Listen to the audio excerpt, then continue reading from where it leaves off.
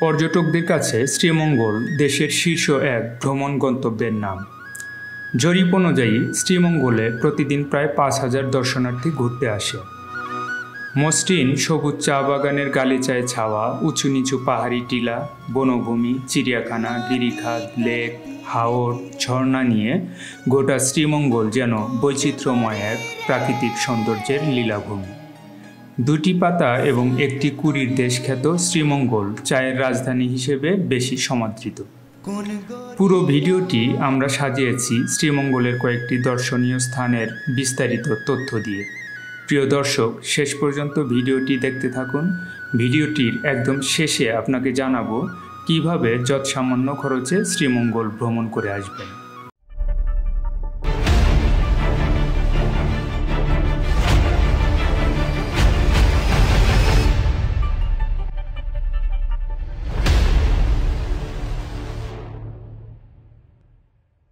প্রাকৃতিক সৌন্দর্যের লীলাভূমি শ্রীমঙ্গলের বদ্ধভূমি একাত্তর অন্যতম একটি আকর্ষণীয়, দর্শনীয় স্থান। শ্রীমঙ্গল শহরের ভানুগাছ সড়কে বিজিবির সেক্টর হেডকোয়ার্টার সংলগ্ন বটকুঞ্জের নিচ দিয়ে প্রবাহিত ভুরভুরিয়া ছড়ার পাশে এর অবস্থান। সম্প্রতি এখানে পর্যটকদের সুবিধার্থে নির্মিত হয়েছে সীমান্ত একাত্তর ফ্রেশ কর্নার সহ মুক্তিযুদ্ধের ভাস্কর্য মৃত্যুঞ্জয়ী একাত্তর।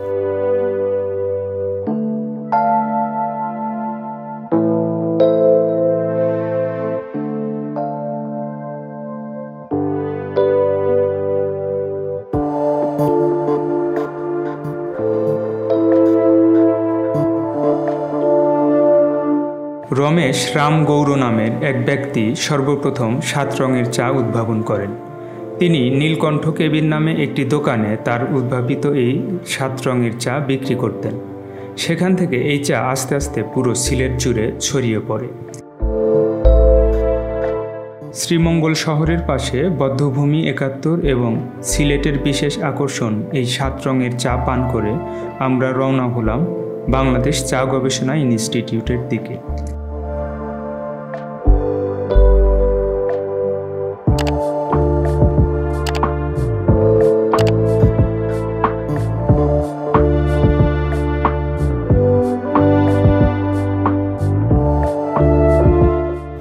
সবুজ শ্যামলে ঘেরা শ্রীমঙ্গলে অবস্থিত বাংলাদেশ চা গবেষণা ইনস্টিটিউট বিটিআরআই এর প্রধান কার্যালয়। উনিশশো সাতান্ন সালে আঠাশ ফেব্রুয়ারি এটি প্রতিষ্ঠিত হয়েছে। শুরু থেকেই বাংলাদেশ চা গবেষণা ইনস্টিটিউটটি গণপ্রজাতন্ত্রী বাংলাদেশ সরকারের বাণিজ্য মন্ত্রণালয়ের অধীনস্থ বাংলাদেশ চা বোর্ডের অঙ্গ প্রতিষ্ঠান হিসেবে কার্যক্রম চালিয়ে আসছে।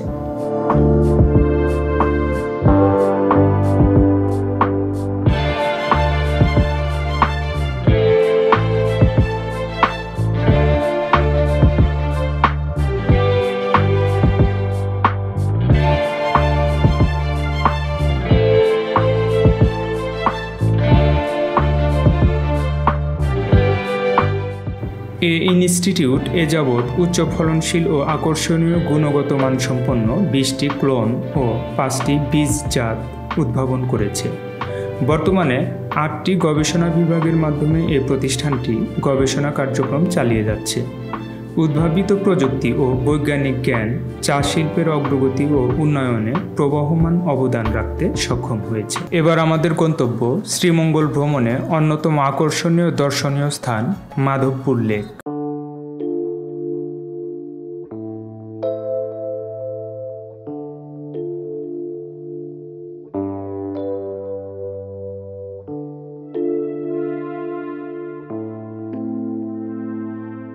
মাধবপুর লেকটি বাংলাদেশের উত্তর পূর্ব কোণে সিলেট বিভাগের মৌলভীবাজার জেলার কমলগঞ্জ উপজেলার মাধবপুর ইউনিয়নের পাত্রখোলা এলাকায় অবস্থিত।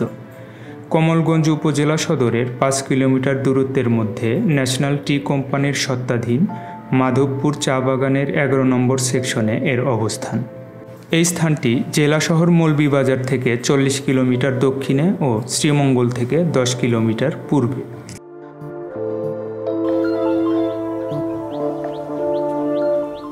চা বাগানে চাষের ও অন্যান্য বিভিন্ন ব্যবহারের জন্য প্রচুর পানির প্রয়োজন হয় বলে পার্বত্য অঞ্চলের বৃষ্টিবহুল এলাকাগুলোই চা চাষের জন্য সর্বোৎকৃষ্ট।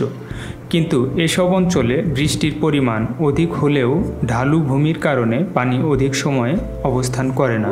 বিধায় পানির প্রয়োজন মেটাতে বাগান কর্তৃপক্ষ একাধিক জলাধার তৈরি করেন, যা প্রায় প্রতিটি চা বাগানের ক্ষেত্রেই অতি স্বাভাবিক ব্যাপার। এবং স্থানীয় চা শ্রমিকরা এসব হ্রদকে ডাম্প বলে ডাকে।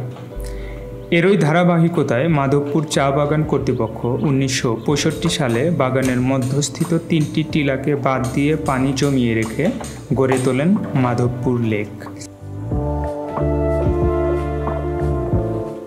মাধবপুর লেকটির আয়তন প্রায় পঞ্চাশ একর এবং দৈর্ঘ্যে তিন কিলোমিটার। প্রস্থ স্থান বিশেষে পঞ্চাশ হতে তিনশো মিটার পর্যন্ত। চা বাগান কর্তৃপক্ষ লেকের পার ঘেঁষে হেঁটে বেড়ানোর জন্য সরু পায়ে চলার পথ এবং টিলার উপর খড় দিয়ে তাঁবু তৈরি করে দিয়েছে। দক্ষিণ দিকের টিলাটি ভারতীয় সীমান্তের দিকে। এখান থেকে ভারতীয় এলাকার উঁচু নিচু পাহাড়গুলো চোখে পড়ে। পর্যটন খাতকে কেন্দ্র করে শ্রীমঙ্গলে গড়ে উঠেছে ভালো মানের বহু হোটেল ও রিসোর্ট। এখানকার হোটেল ও রিসোর্টগুলোতে রয়েছে অবকাশ যাপনের জন্য পর্যাপ্ত সুযোগ সুবিধা। যদিও ভালো মানের প্রায় সব হোটেলগুলো শ্রীমঙ্গল শহরে অবস্থিত হলেও, বেশিরভাগ রিসোর্টগুলোই গড়ে উঠেছে শহর থেকে কিছুটা ভেতরে।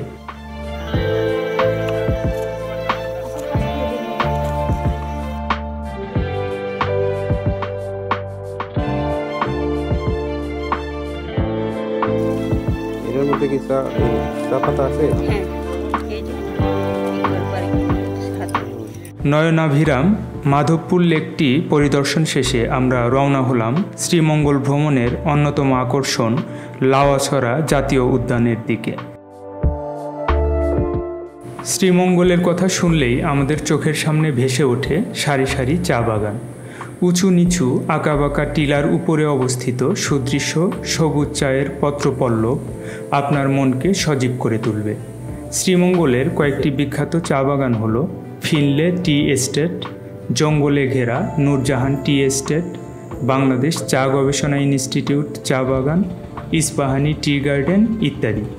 রাস্তার দুপাশ জুড়ে বিস্তৃত নূরজাহান টি এস্টেটটি হাতে সময় নিয়ে ঘুরে দেখতে পারেন।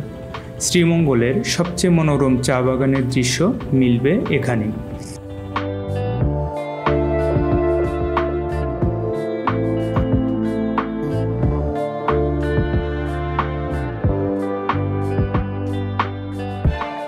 সিলেটে চারটি সরকারি রাবার বাগান রয়েছে আর বেসরকারি ও ব্যক্তি মালিকানাধীন রাবার বাগানের সংখ্যা অগণিত। এর মধ্যে চায়ের রাজধানীতে রয়েছে সাতগাঁও রাবার বাগান। লাওয়াছড়া সড়ক ধরে যাওয়ার পথে এবং চা জাদুঘরের পাশেই রাবার বাগান রয়েছে। চা জাদুঘর থেকে রাবার বাগানটি পায়ে হেঁটেই ঘুরে আসতে পারবেন।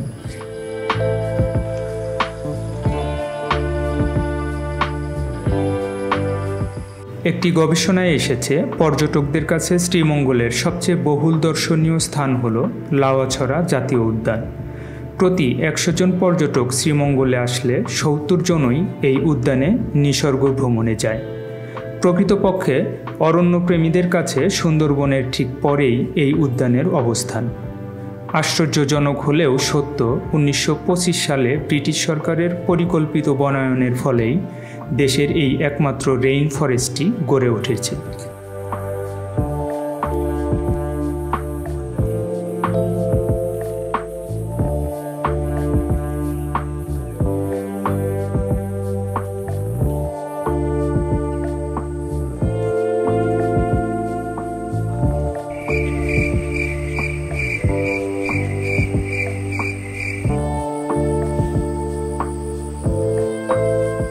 দর্শনার্থীদের নিকট উদ্যানটির সবচেয়ে আকর্ষণীয় স্থানটি হল উদ্যানের বুক চিরে বয়ে চলা রেল লাইন। হুমায়ুন আহমেদের বিখ্যাত চলচ্চিত্র আমার আছে জলের শুটিং হয়েছিল এই রেল লাইনের ধারে। পুরো লাওয়াছড়া রেইন ফরেস্ট ঘুরে দেখার জন্য দুই থেকে চার ঘণ্টা সময়ই যথেষ্ট। শীতের মৌসুমে সবচেয়ে বেশি দর্শনার্থীর পদচারণা থাকে উদ্যানটিতে।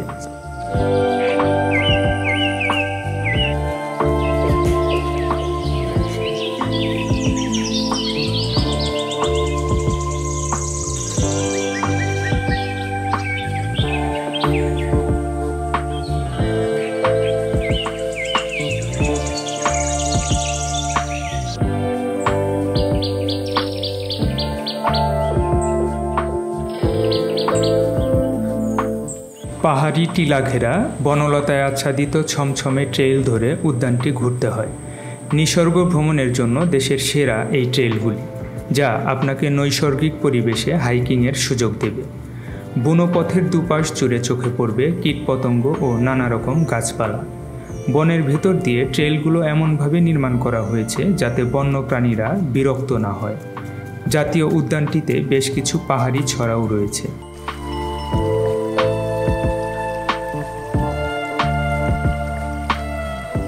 ঢাকা থেকে একশো বিরাশি কিলোমিটার দূরত্বে অবস্থিত জনপ্রিয় দর্শনীয় স্থান শ্রীমঙ্গলে সরাসরি বাসে, ট্রেনে ও আকাশপথে যাওয়া যায়। আকাশপথে যেতে হলে সিলেট বিমানবন্দর হয়ে বাকিটুকু সড়ক পথে যেতে হবে। সকাল, বিকেল ও রাতে ঢাকা থেকে শ্রীমঙ্গলের উদ্দেশ্যে ট্রেন ছেড়ে যায়। ট্রেনে করে চায়ের দেশে যেতে মাত্র পাঁচ ঘণ্টা সময় লাগে। শ্রেণীভেদে টিকিটের হার দুশো পঞ্চাশ থেকে শুরু করে এগারোশো টাকা পর্যন্ত। বাসে যেতে চাইলে ভোরে পৌঁছা যায় সেই হিসাব অনুযায়ী সুবিধামতো বাসের টিকিট পাবেন। কল্যাণপুর, ফকিরাপুর, সায়দাবাদ যেখান থেকে ইচ্ছা উঠতে পারবেন। এই রুটে হানিফ, অ্যানা ও শ্যামলী বাস বেশি জনপ্রিয়। নন এসি মাত্র তিনশো আশি থেকে চারশো টাকা আর এসি বাসে ছয়শো টাকার মতো ভাড়া পড়বে।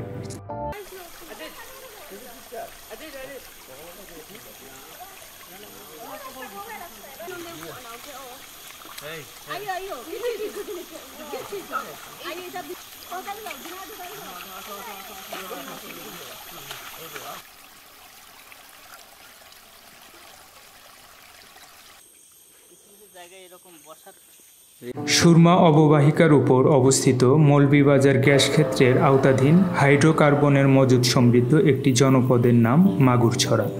এখানকার পরিত্যক্ত গ্যাস ক্ষেত্রের পাশেই রয়েছে মাগুরছড়া পঞ্জি নামের একটি গ্রাম, যেখানে আদিবাসী খাসিয়া সম্প্রদায়ের মানুষজন বাস করে। খাসিয়ারা তাদের বাড়ি পাহাড়ের উপর বিশেষভাবে তৈরি করে। খাসিয়া সমাজে কয়েকজন মন্ত্রী, গোত্রপ্রধান হিসেবে কাজ করেন, যাদের অনুমতি নিয়ে আপনাকে এই পঞ্জিতে ঢুকতে হবে। বাংলাদেশের বিভিন্ন অঞ্চলে অসংখ্য উপজাতীয় নৃগোষ্ঠী ছড়িয়ে ছিটিয়ে রয়েছে। তেমনি মৌলভীবাজার শহর থেকে প্রায় পঁয়ত্রিশ কিলোমিটার দূরে শ্রীমঙ্গলের কমলগঞ্জ উপজেলায় আদমপুর ইউনিয়নে মণিপুরী সম্প্রদায়ের কাপড়ের ব্যবসাকে কেন্দ্র করে গড়ে উঠেছে মণিপুরী পণ্য। স্থানীয় মণিপুরীরা এখানে নিজেরা কাপড়ের বিভিন্ন পণ্য তৈরি করে। দেশ বিদেশে মণিপুরি পণ্য সমূহের রয়েছে ব্যাপক চাহিদা। আর এই এদিকে থ্রি পিস এদিকে বেডশিট এদিকে কাঁথা থামি শতরঞ্জি রানার সেট পাঞ্জাবি পার্স এগুলা পাওয়া যায় তারপরে হাতের কাজের থ্রি পিস আছে হাতের কাজের শাড়ি আছে হ্যান্ডিক্রাফটসের দাম কীরকম? যেমন পাঞ্জাবি কতর মধ্যে আছে? পাঞ্জাবি আপনার তিনশো টাকা থেকে শুরু করে আপনার ছয়শো টাকা পর্যন্ত আছে। আর হচ্ছে মেয়েদের কি আছে? মেয়েদের আছে ওয়ান পিস থামি সেট ওয়ান পিস কত? কত করে? কতর মধ্যে? কত কত আপনার দুইশো পঞ্চাশ টাকা থেকে শুরু করে আপনার চারশো পঞ্চাশ টাকা পর্যন্ত আছে। এটা? থামি সেট থাম্মি ওইটা ওইটার প্রাইস কত? ওইটা আপনার তিনশো পঞ্চাশ টাকা থেকে আপনার সাতশো পঞ্চাশ টাকা পর্যন্ত আছে। তিনশো পঞ্চাশ থেকে সাতশো পঞ্চাশ। হ্যাঁ। বেডশিট। হুম। বেডশিট কি কীরকম দামের মধ্যে? বেডশিট আপনার সর্বনিম্ন চারশো টাকা থেকে স্টার্ট করে আপনার চব্বিশশো টাকা পর্যন্ত আছে।